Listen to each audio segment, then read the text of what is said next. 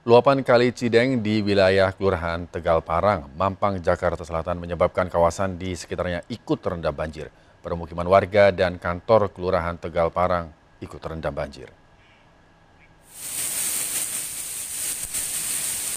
Banjir merendam permukiman dan kantor Kelurahan Tegal Parang, Mampang, Jakarta Selatan. Ketinggian kenangan akibat luapan sungai Cideng itu mencapai 1 meter yang terjadi setelah hujan deras yang mengguyur ibu kota sepanjang Kamis kemarin. Sejumlah kendaraan milik pegawai kelurahan pun ikut terendam banjir karena tak sempat dipindahkan. Banjir ini dilaporkan merendam permukiman warga di 3 RT di RW 7, Kelurahan Tegal Parang.